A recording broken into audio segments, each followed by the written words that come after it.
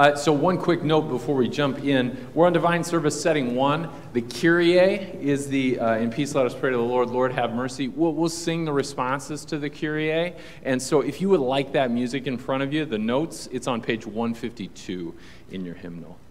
We begin this evening in the name of the Father, and of the Son, and of the Holy Spirit. Amen. If we say we have no sin, we deceive ourselves, and the truth is not in us. But if we confess our sins, God, who is faithful and just, will forgive our sins and cleanse us from all unrighteousness.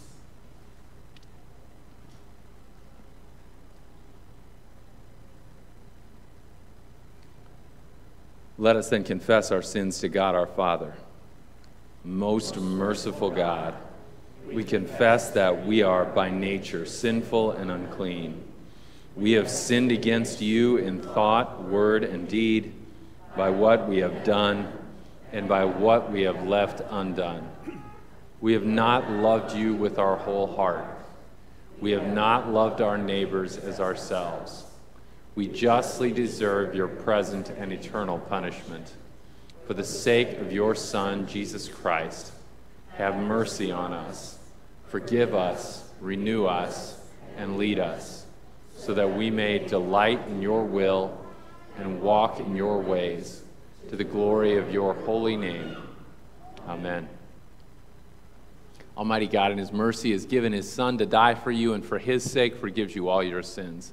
As a called and ordained servant of Christ, and by His authority, I therefore forgive you all your sins in the name of the Father, the Son, and the Holy Spirit. Amen.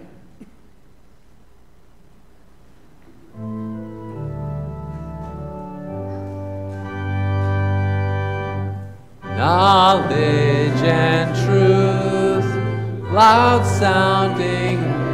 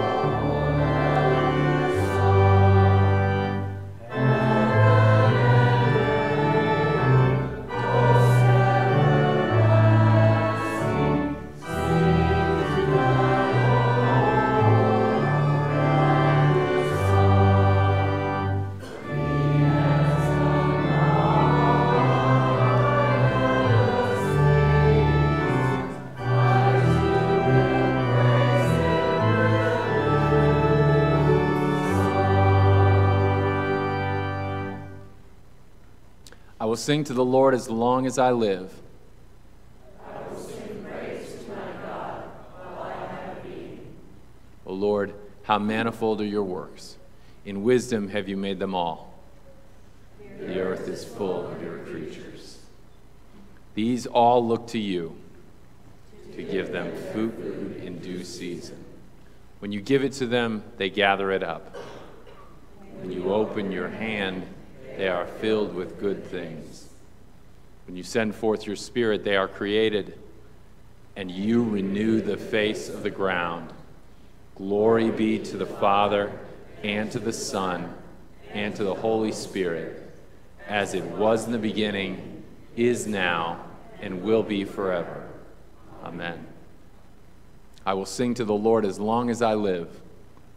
I will sing praise to my God while I have being. In peace, let us pray to the Lord. Lord, have mercy. For the peace from above and for our salvation, let us pray to the Lord. Lord have mercy. For the peace of the whole world, for the well being of the church of God, and for the unity of all, let us pray to the Lord.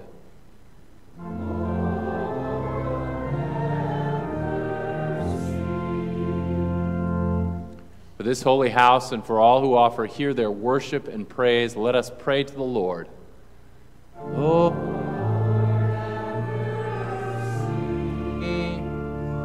Help, save, comfort, and defend us, gracious Lord.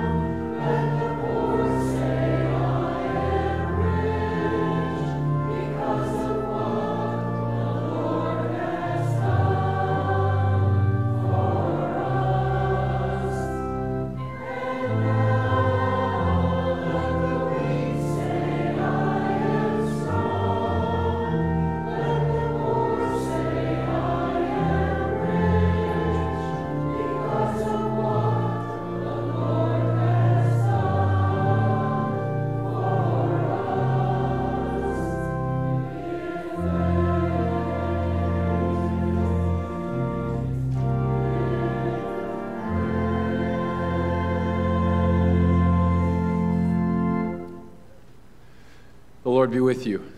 With you. Let us pray. Almighty God, your mercies are new every morning, and you graciously provide for all our needs of body and soul. Grant us your Holy Spirit that we may acknowledge your goodness, give thanks for your benefits, and serve you in willing obedience all our days. Through Jesus Christ our Lord, who lives and reigns with you in the Holy Spirit, one God, now and forever. Amen.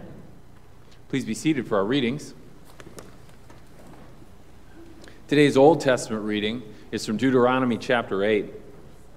The whole commandment that I command you today, you shall be careful to do, that you may live and multiply and go in and possess the land that the Lord has sworn to give to your fathers. And you shall remember the whole way that the Lord your God has led you these 40 years in the wilderness, that he might humble you, testing you to know what was in your heart, whether you would keep his commandments or not. And he humbled you and let you hunger and fed you with manna which you did not know, nor your fathers knew, that he might make you know that man does not live by bread alone, but man lives by every word that comes from the mouth of the Lord. Your clothing did not wear out on you, and your foot did not swell these forty years. Know then in your heart that as a man disciplines his son, the Lord God disciplines you. So you shall keep the commandments of the Lord your God by walking in his ways and by fearing him. For the Lord your God is bringing you into a good land, a land of brooks of water, fountains and springs, flowing out in the valleys and the hills, a land of wheat and barley, vines and fig trees and pomegranates, a land of olive trees and honey, a land in which you will eat bread without scarcity, in which you will lack nothing, a land whose stones are iron, and out of whose hills you can dig copper, and you shall eat and be full, and you shall bless the Lord your God for the good land that he has given you. This is the word of the Lord. Thanks be to God. Tonight's epistle reading comes from 1 Timothy chapter 2. Paul writes, First of all, then, I urge that supplications, prayers, intercessions, and thanksgivings be made for all people, for kings and all who are in high positions, that we may lead a peaceable and quiet life, godly and dignified in every way. This is good, and it is pleasing in the sight of God our Savior, who desires all people to be saved and come to the knowledge of the truth. This is the word of the Lord. Thanks be to God. As you're able, please rise for the Alleluia.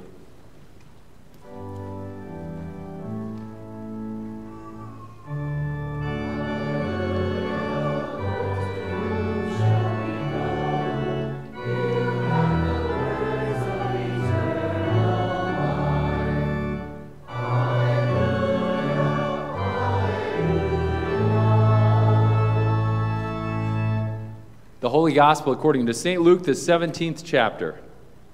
Glory to you, O Lord. On the way to Jerusalem, Jesus was passing along between Samaria and Galilee. And as he entered a village, he was met by ten lepers who stood at a distance and lifted up their voices, saying, Jesus, Master, have mercy on us. And when he saw them, he said to them, Go and show yourselves to the priests. And as they went, they were cleansed. Then one of them, when he saw that he was healed, turned back, praising God with a loud voice. And he fell on his face at Jesus' feet, giving him thanks. Now he was a Samaritan. Then Jesus answered, Were not ten cleansed? Where are the other nine? Was no one found to return and give praise to God except this foreigner? And he said to him, Rise and go your way. Your faith has made you well. This is the gospel of the Lord. Praise, to you, O Christ. Uh, please be seated for our sermon hymn. Thank you.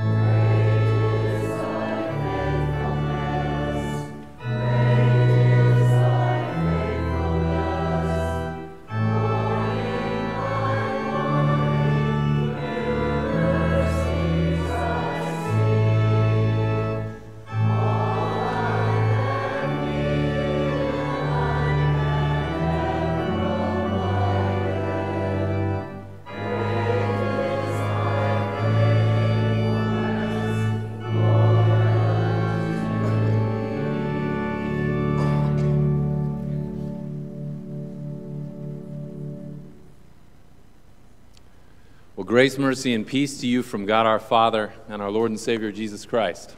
Amen. You ever wonder why we have a Thanksgiving service? I mean, it's not a church holiday. I was in uh, Germany last year over Thanksgiving, and, and they didn't have turkeys at all. No pilgrim talk, nothing. None of that stuff over there. It's not a church holiday, it's national holiday. It's something that we do here as a nation. It's a good thing.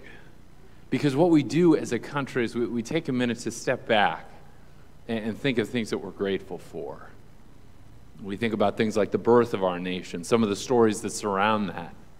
We think about things like the generosity of other people. We think about things like the harvest, the bounty of the harvest that's been brought in, and all the blessings that, that are there as a result harvest, I think, is pretty much over at this point. Most of the stuff is out of the fields by now, but, uh, but we do think of like cornucopias and, and that sort of stuff when we think Thanksgiving.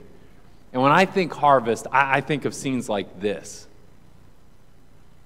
Beautiful scene, right? I think of scenes like this. Kansas guy, so we had a lot of wheat out there. I think of scenes like this. I had to take my little kids on 140 to Hamel for the last five years. And let me tell you, this happened an awful lot on the way to Hamel. It happens during the harvest around here, right? So, what I want to do tonight is I want, I want to think about this experience. And I want to think about it in three different ways and give us kind of three different frames to use as we think about it. Because I think there's more to it than, than, than meets the eye, for one thing. And I think it maybe tells us something about why we have a service on Thanksgiving, too. So, the first way, kind of level one of looking at a scene like this, is, is exactly what comes into your head when you come over the hill and you see a tractor or a combine that's in the road. It's frustration. You're getting held up, right? You, you didn't expect that to happen. You didn't realize somebody was going to be there, and, and all of a sudden your schedule is gone. And so you have this experience of maybe all kinds of things. One of them is frustration. There's probably a little anxiety. You're worried that you're not going to get where you're going on time. And you're maybe even angry about it. Now, my, if you don't know this about my family, my dad was a truck driver for a couple of years, and he came back from, from being on the truck, and he had a lot of stories, which made me look at stuff like this very, very differently. because it was a whole different perspective. So, what I did this week when I was thinking about using this image is I called a farmer and I said, Hey, tell me a little bit about this. What's it like? Is it okay if I use this image for preaching, do you think? I don't want to make a bunch of people mad or anything like that. And he said, No, I'll tell you about it, Pastor. That's no problem. And I said, Well, you know, here's kind of what it's like being stuck back there. He said, Yeah, I know. He said, Pastor, everybody is frustrated in this situation. Everybody is frustrated, not just the people in the cars. He said, We don't want to be there. We don't want to be holding people up. We don't want to be making people stuck on the road or anything like that. But you got to get your stuff from one place to another somehow. You got to get your stuff from point A to point B somehow. You know, when you're sitting behind a farm implement like this and you're worried about all the things you're worried about, I mean, those are important things right? You got to get where you're going. You have responsibilities and that kind of stuff. But really, the first way of thinking about this, our gut reaction when this happens to us, is pretty self focused, isn't it? I mean, we think pretty much about ourselves and our needs and where we're going and our schedule. And again, not that that's a bad thing. We shouldn't beat ourselves up about it. You got to do that stuff. But that's really only step one, or at least level one of an experience like this. Level two is where I think you get once you recognize I'm five cars back, I'm not going anywhere, I might as well just sink into the situation. I might as well just enjoy it. Level two is the point where, where you get to the, to, to the place where you can reflect a little bit. One of the days that I was driving out on 140 uh, to Hamel, that something happened and I'll never forget it. Uh, it was an amazing thing. I wasn't stuck behind a tractor that day, but I kind of wished I was. Because what happened was it was uh, late spring or early summer, somewhere in there, and there was dew out on the field. There was, there was wheat still in, and there was dew out on the field. And I was going over early in the morning, and I just so happened to catch it. At, at, at this, when the sun was very low on the horizon, and this amazing thing happened. I've never seen anything like it before. Uh, the sun was catching the dew that was on the wheat, and the fields just looked absolutely white. It looked like there was snow on the fields. And, and my kids were in the back, and even they looked out and they said, Dad, when did it snow? I mean, it's not even cold outside. But it was an amazing day. I've never seen anything like that before. And the point is this when you're five cars back in this line, and you stop for a second worrying about yourself, worrying about where you're going, worrying about the fact that you're upset, and you look around a little bit, what you start to realize is that you're surrounded usually by some pretty beautiful stuff. You're surrounded usually by some pretty amazing things that are part of our world and part of our creation. Things like dew on wheat, or things like those first two pictures that we looked at up there. As I talked to the farmer this week about this experience, the other thing he said is, Pastor, what you got to remember is that when you're in that line, and when the, when the, when, the, uh, when the tractor pulls into the field, when the guy turns off and goes into the field, he's doing something for all of us. He's doing something for every single one of us. He's turning out of the, the out of the road to, to, to harvest wheat, or harvest beans, or harvest corn, or harvest whatever it is he's going to do. He's going to grow things that all of us are going to eat. That's level two of this experience. If you get to the point where you can step back from your frustration and reflect a little bit on what's happening, you can figure out that there's a lot of reasons to be grateful in a scene like this. And that's something we can all agree on you know, whether you're a Christian or not, whether you're an atheist, whether you're part of a different religion, national holiday of Thanksgiving is something that we can all sit back and agree on.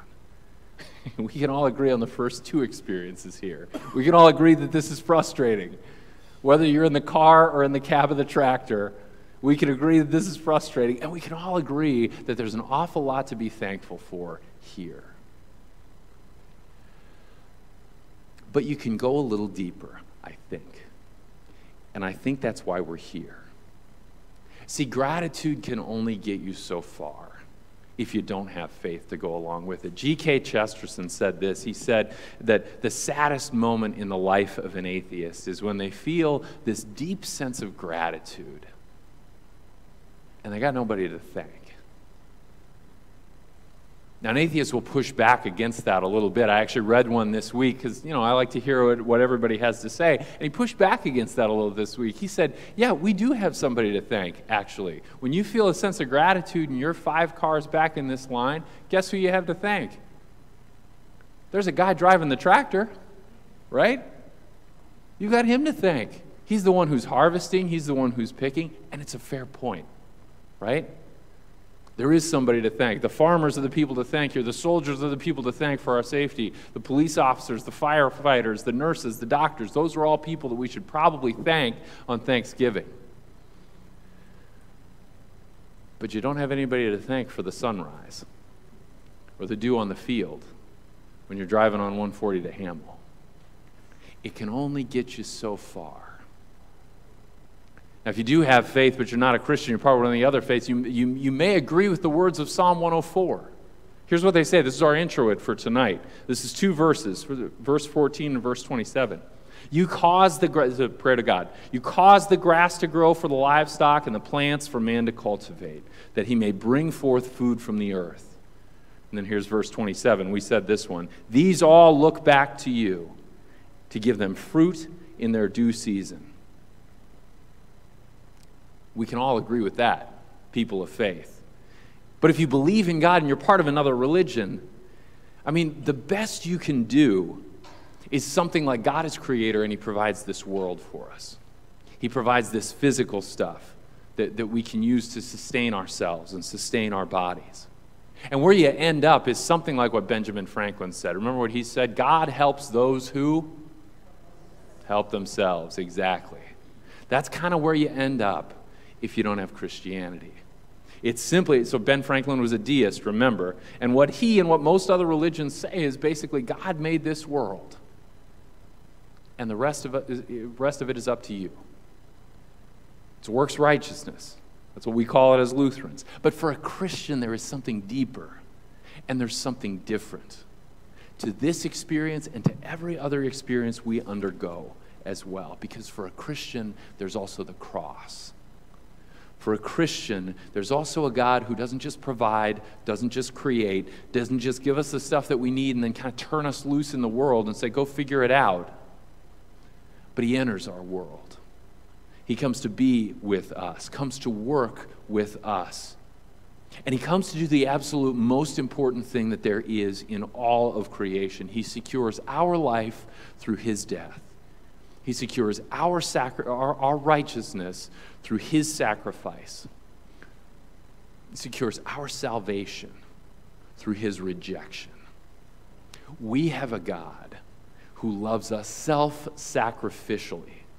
We have a God who gives up himself for us who gives up his son for us. And Paul says this He says, if we have a God who will not even spare his own son for us and for our benefit, how will he not also give us all things?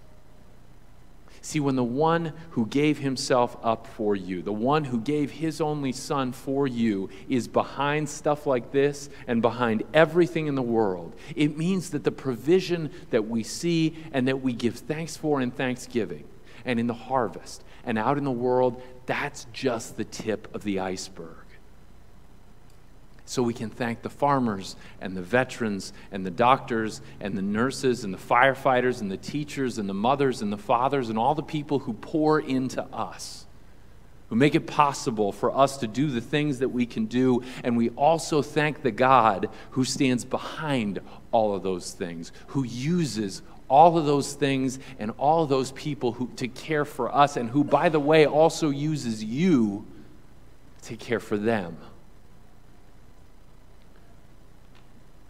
You're about to come up to this meal, to communion. Or actually, another word for communion, you know what another word for communion is? Eucharist. You know what it means? Thanksgiving. It's the meal where we give thanks and God gives us this great and beautiful gift of His own Son. The food we eat here may very well have started on a morning just like that. I mean, whoever harvested the wheat had to get his, his equipment there somehow, right? It may have started on a morning just like this. And the food that we eat this day becomes something else. And so, so, so when you find yourself in this situation or any situation that's like that, and when you come up to this meal, I encourage you tonight to give thanks. That's why we're here. That's why we have a church service on Thanksgiving, so that when we come up to this meal and when we look around our lives, when we look around this place, we can think differently. I encourage you as you come up to think about gratitude. Gratitude towards the Altar Guild, who made sure that this stuff was up here for us tonight. Toward the farmers who harvested the raw materials, toward the manufacturers who made them what they are the transportation workers, the retail employees, everybody who had a hand in bringing them here, and most especially to the God who made it all possible.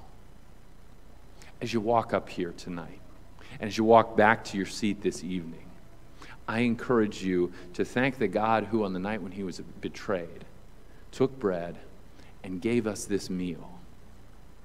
Thank the God whose body and whose blood are present here today for you. And thank the God who gives you every meal and who in this meal gives you the gift of free grace once again. Amen. Now may the peace of God that passes all understanding guard our hearts and our minds, keeping them steadfast in Christ Jesus. Amen. At this time, we continue by making confession of our faith in the words of the Nicene Creed. As you're able, please rise.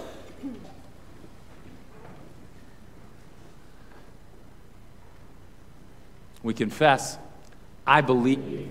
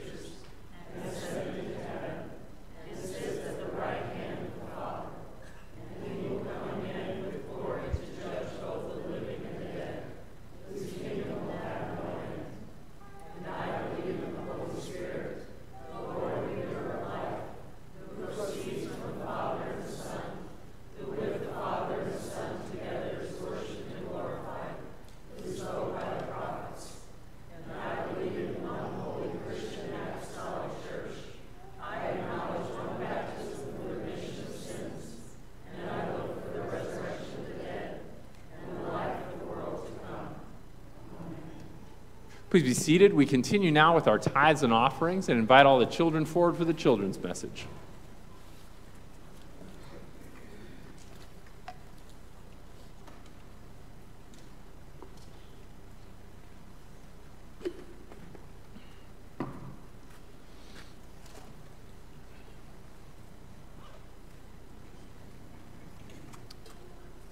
Lowry's, I knew you guys would make it. How you guys doing? Good, good. Are you excited for tomorrow? Yeah, me too. What's your favorite Thanksgiving food? Turkey, yeah? It's a hard one. Turkey. That's pretty, you know what? Don't, don't tell anybody. This is just between us. I don't like turkey very much. Can you believe it? On Thanksgiving. Hopefully, nobody other than you guys heard that. I think they might have. I like mashed potatoes. That's my favorite Thanksgiving food ever. Turkey's okay, but I like mashed potatoes. So, um, can you think for just a second, how does that food get to your table? It's kind of a hard one, isn't it? Ooh. Yep.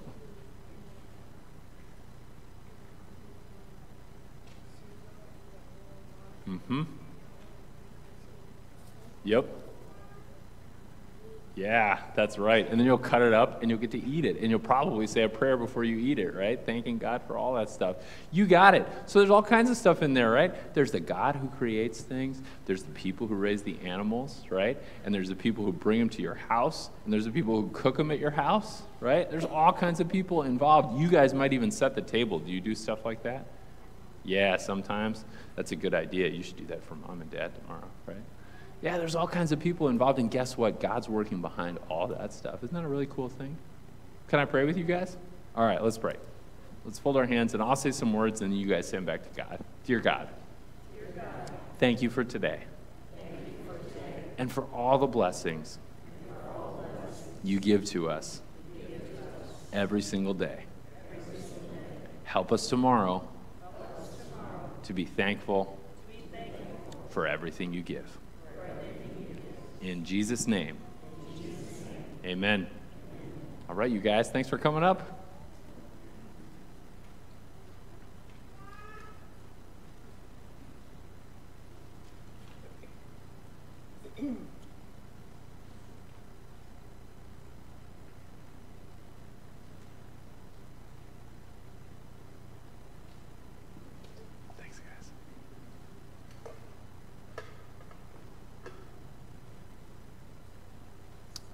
Uh, let's go. Uh, let's go one more forward, Ken.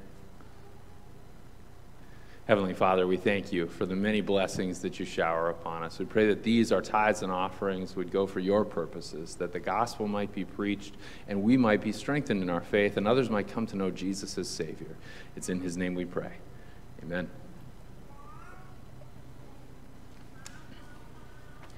In our prayers for this evening, uh, have just a couple petitions that, uh, so we normally don't go through all the petitions uh, for the special services, but there's two petitions that I do want to make special note of. Uh, one is uh, Rosine uh, Custer, that is uh, Mendy Draper's daughter. she had kind of emergency surgery today at Barnes. It sounds like the surgery went pretty well, but she'll be in recovery, and so we want to pray for her recovery. She had a, a frontal lobe tumor that they removed today. and then Stacy McCrae uh, had a procedure at Barnes yesterday, and she got pancreatitis, unfortunately, as a result of the procedure, so she has to stay in Barnes a little longer for recovery. So I want to mention her as well and, and pray for her quick recovery and quick return home. As you're able, please rise for prayer.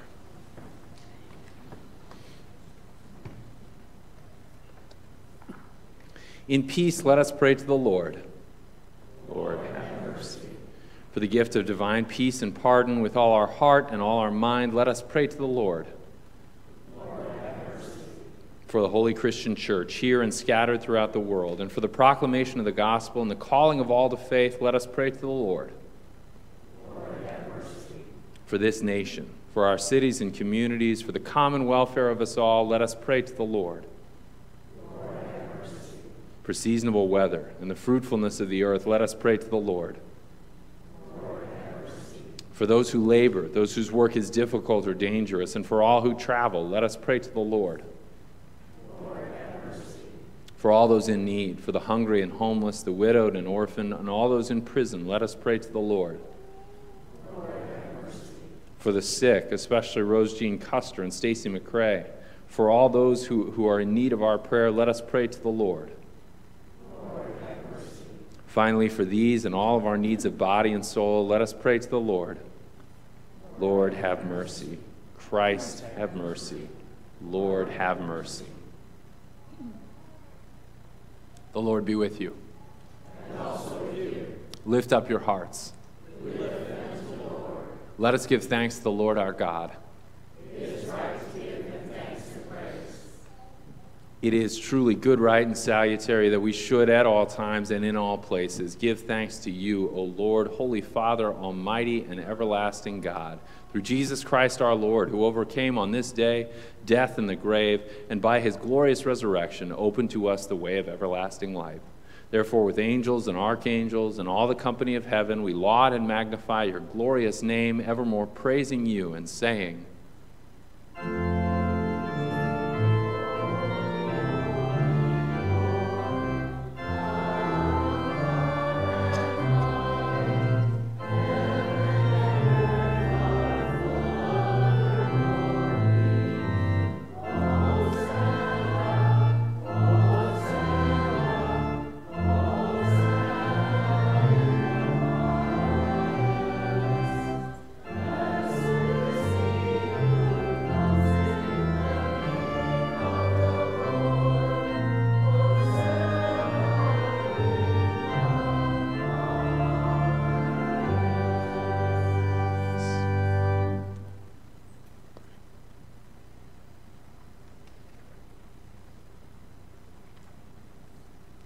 Blessed are you, O Lord of heaven and earth, for you have had mercy on those whom you created and sent your only begotten Son into our flesh to bear our sin and be our Savior.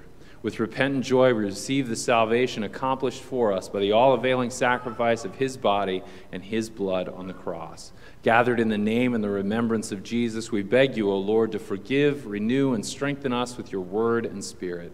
Grant us faithfully to eat his body and drink his blood, as he bids us do in his own testament. Gather us together, we pray, from the ends of the earth to celebrate with all the faithful the marriage feast of the Lamb and his kingdom, which has no end.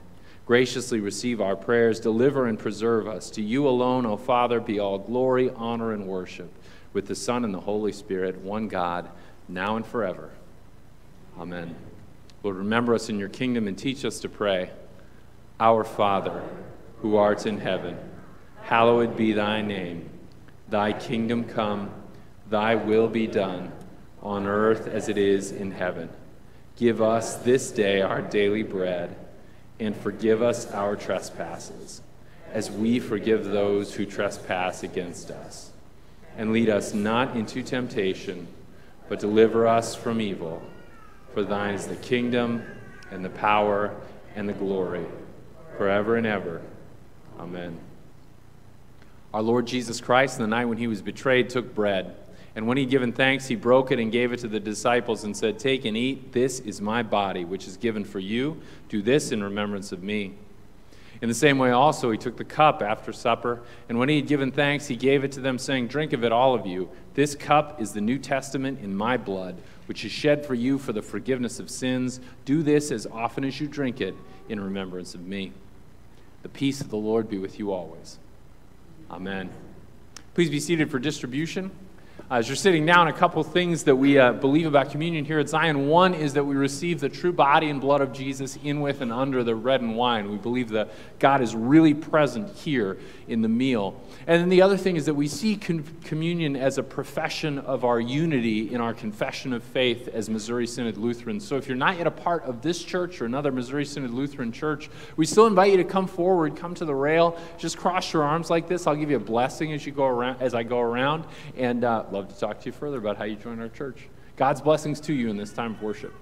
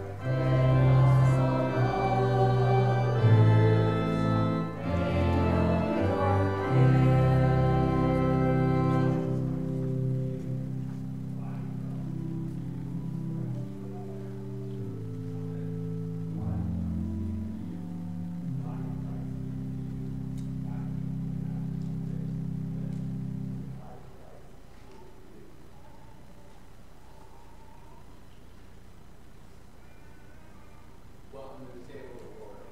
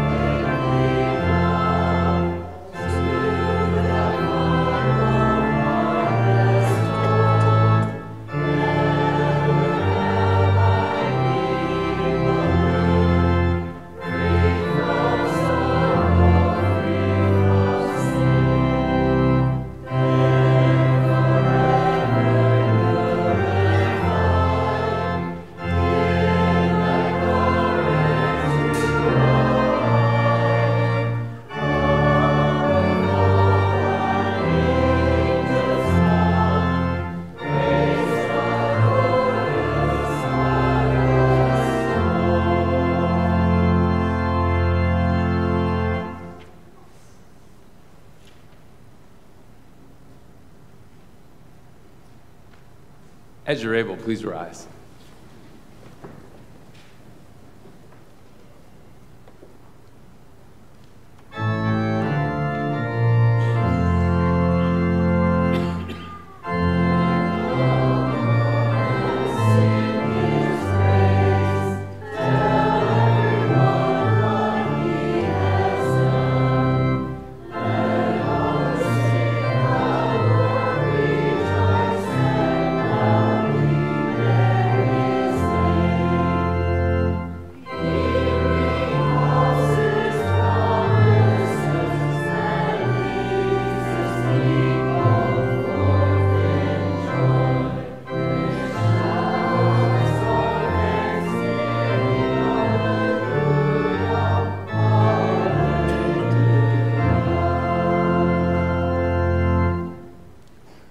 Bless you and keep you. The Lord make his face shine upon you and be gracious to you. The Lord look upon you with favor and give you his peace. Amen. Please be seated for our closing hymn.